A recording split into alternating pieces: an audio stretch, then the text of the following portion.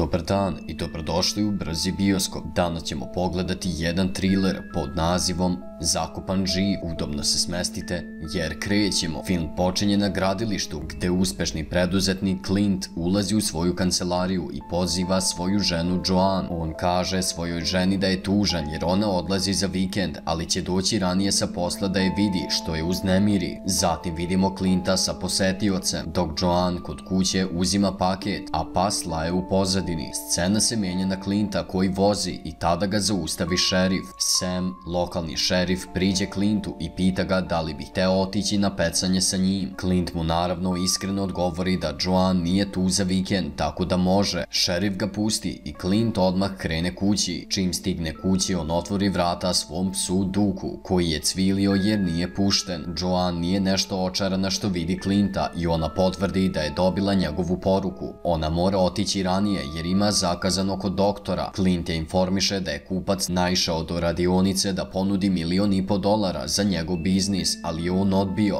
Joan napomene da je to mnogo novca, ali Clint odgovori da ne zna šta bi radio kada bi prodao svoj biznis. Joan mu ljutito odgovori da bi se trebali vratiti u New York. Diskusija pređe u svađu i Clint joj stavi do znanja da je putovao preko 2000 milja do ovde da bi im stvorio bolji život. Joan zatim napusti kuću i ode svojim autom koji je naravno Clint kupio. Posle toga Clint ode sa šerifom i dok pecaju Clint podeli malo svojih muka. Šerif ga pita kako je kod kuće, na šta Clint odgovori da je Joan gradska devojka i muči se da se prilagodi. Umeđu vremenu ispostavlja se da Joan ima aferu sa svojim doktorom Cortlandom ili ti Cortom. Doktor joj kaže kako će posjedovati kliniku sa njim na Beverly Hillsu. On je takođe izvukao toksin iz ribe i kaže da konzumiranje dovodi do smrti. Oni planiraju da eliminišu Clinta i da prodaju njegovu kompaniju, pa je Cort ubedi da otruje Clintovu hranu. Kada Joan stigne kući, ona krene prazniti svoju torbu tražeći otrov i prospe ga. Ona sakrije otrov u ćebe i vidimo da otrov i dalje curi. Kada Clint stigne kući kasnije, on vidi Joan kako mu sprema jelo i kaže joj da će biti odsutan na neko vreme. Uznemirena zbog buke iz radionice, Joan počne razmišljati o otrovu. Ona ode po njega i odluči da sipa otrovu vino. Međutim, Clint se odjednom pojavi i donese dve čaše vina na sto. Joan sedne i gleda Clinta kako jede, brinući se oko toga šta bi se desilo kada bi pila iz pogrešne čaše. Clint uzme vino i pita je da nazdrave. Nažalost po Clinta, on popije otrovno i njegovo telo reaguje naglo. On padne na pod od bolova i traže njenu pomoć, ali ona odbije te ga nagovara da okonča svoj život. Joan zatim nazove svog ljubavnika da ga obavesti. Kasnije Sam i Kort stignu u kuću. Sam je toliko uznemiren jer nije očekivao da će njegov prijatelj umreti od srčanog udara. Ovde vidimo bočicu od otrova na koju Sam umalo stane. Šerif pita da li bi trebali obaviti autopsiju, ali Kort kaže da nema razloga za to. Scena se menja na prostoriju sa telima gde se jedno od njih pomeri.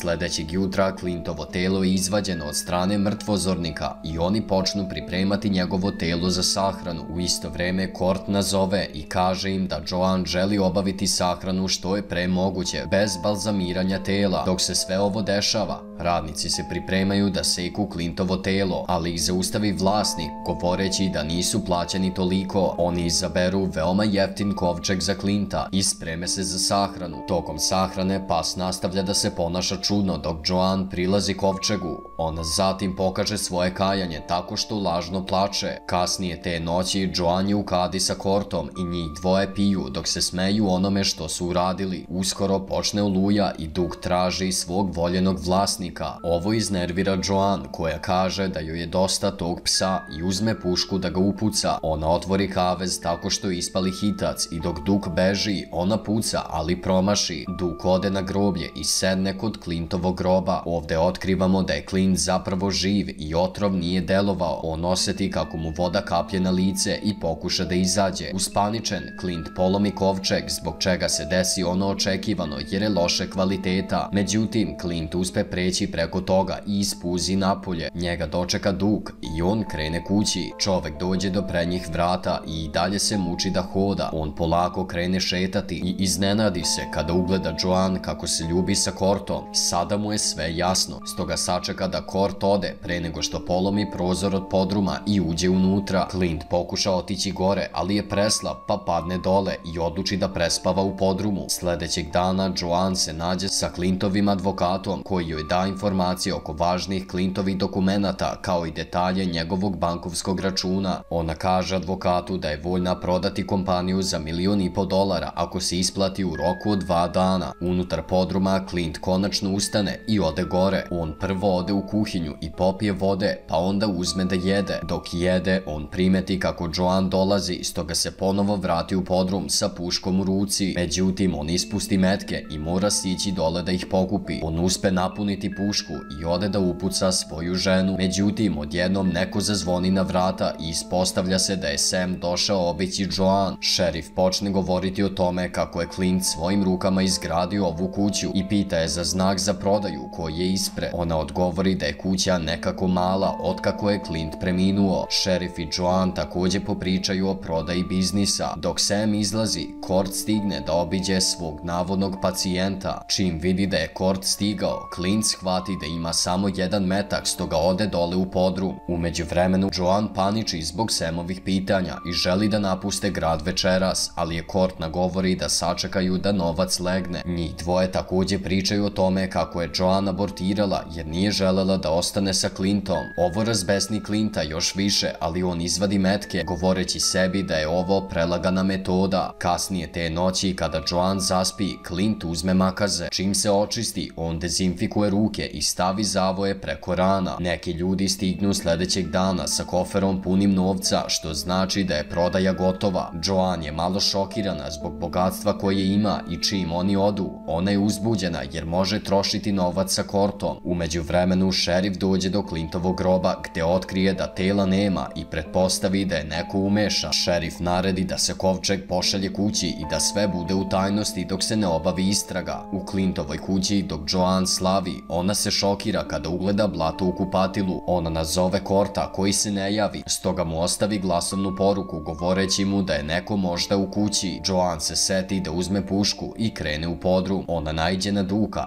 i on počne lajati na nju dok ona uzima pušku. Pre nego što upuca psa, Clint je zaključao u podrum i blokira sve prozore. S druge strane, Kort izvlači otrov iz ribe dok priča sa njom. On proveri poruke i čuje svog gazdu koji mu preti da će ga izbaciti jer nije platio kiriju već pola godine. Kada Kort stigne u Clintovu kuću, on izvadi špric i doziva Joan. On prvo ode u njenu sobu i ugleda kofer sa parama. Umeđu vremenu, Joan se konačno probudi i čuje Korta kako je doziva. Misleći da je on uplašio ranije, Joan se sakrije ispod stepenica. Ona ga udari metalnom šipkom i izbije mu otrov iz ruke. Joan uzme kofer i krene gore, ali se Clint pojavi te zatvori vrata. Posle izvesnog vremena Clint počne unositi drva u kuću dok se Cortland budi. Joan mu se izvini jer ga je udarila govoreći mu da ih je neko zatvorio. Cortland pokuša da pobegne tako što puca na vrata, ali se ispostavi da je Clint ostavio samo barut u čaurama. On pokuša pobeći kroz prozor i tada se Duk pojavi, stoga je primoran da odstupi. Gore vidimo Clinta kako preuređuje kuću tako što seče zidove i uništava slike svoje žene. Kada se Joan probudi sledećeg dana, Kort joj kaže da su dole već 8 sati. Cortland pretpostavi da ih je Sam zatvorio jer želi svoj deo i nije ga briga zašto jer ga sada želi ubiti. Baš tada Joan ugleda špric ispod fioke. Shvativši da je Kort hteo otrovati, Joan sakrije špric i kaže mu da spali novac ako je voli. Kort odbije, stoga se ona suoči sa njim oko otrova i on konačno prizna sve. Pre nego što Kort otruje Joan, vrata od podruma se otvore. Njih dvoje odluče da ne uklone jedno drugo, stoga izađu napolje i vide da je kuća totalno drugačija. Oni pokušaju pronaći izlaz, ali stalno ne ilaze na ćorsokake. Dok pokušavaju da se izvuku, oni šetaju kroz lavirint. Na drugoj strani grada, Sam ne može prestati da misli o Clintovom slučaju. On ponovo pregleda kovčeg i shvati da ga je neko probio tako što sam testira svoju teoriju. U kući,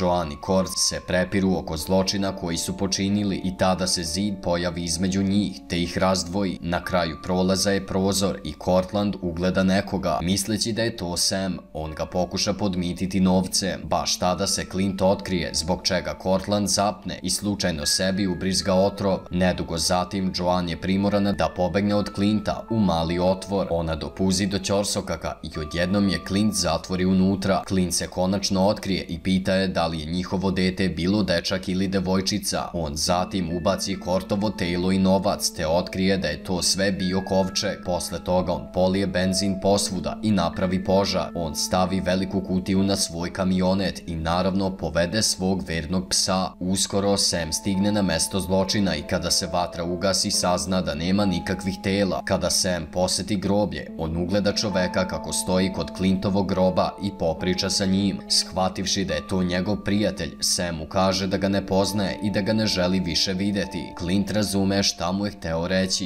i ode odatle. Na kraju filma vidimo da je Joanne i dalje zakopana sa kortom i novcem u Clintovom grobu, te bespomoćno vrišti. To bi bilo to za ovaj film. Nadamo se da ste uživali. Komentaršite šta biste vi uradili u takvoj situaciji, a mi se vidimo u sledećem klipu.